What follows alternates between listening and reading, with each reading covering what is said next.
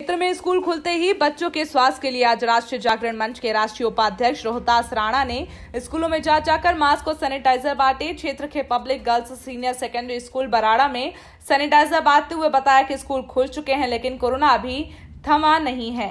इससे भयंकर बीमारी से बचने के लिए बच्चों को मास्क और सैनिटाइजर बांटे जा रहे हैं और अपील की जा रही है कि प्रॉपर मास्क का उपयोग करें। इस अवसर पर स्कूल के अध्यक्ष श्रीमती गुरुदेश कौर ने मंच के पदाधिकारियों का धन्यवाद करते हुए कहा कि मंच की ओर से नेक कार्य किया जा रहा है। मंच ने कोरोना काल में बढ़ चढ़ कर भाग लेकर क्षेत्रवासियों की सेवा में योगदान दिया।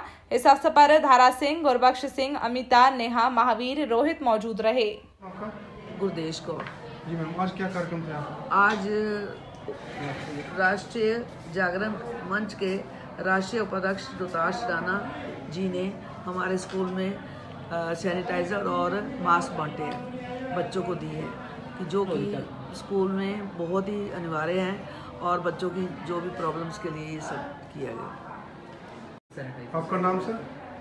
रोहतास राणा राष्ट्रीय उपाध्यक्ष राष्ट्रीय जागरण मंच बराड़ा। सर ये क्या कार्यक्रम था?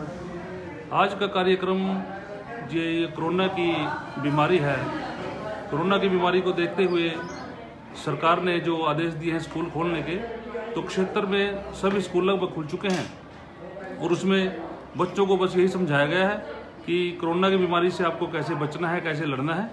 और उसी के लिए बच्चों को मास्क और सैनिटाइजर वितरित किए गए हैं, राष्ट्रीय जागरण मंच की ओर से।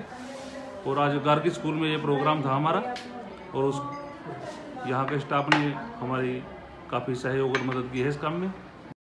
लेटेस्ट न्यूज़ देखने के लिए प्राइम ब्रेकिंग न्यूज़ चैनल को सब्सक्राइब करना ना भूलें और साथ ही डेली अपडेट्स पाने के लिए बेल आइकन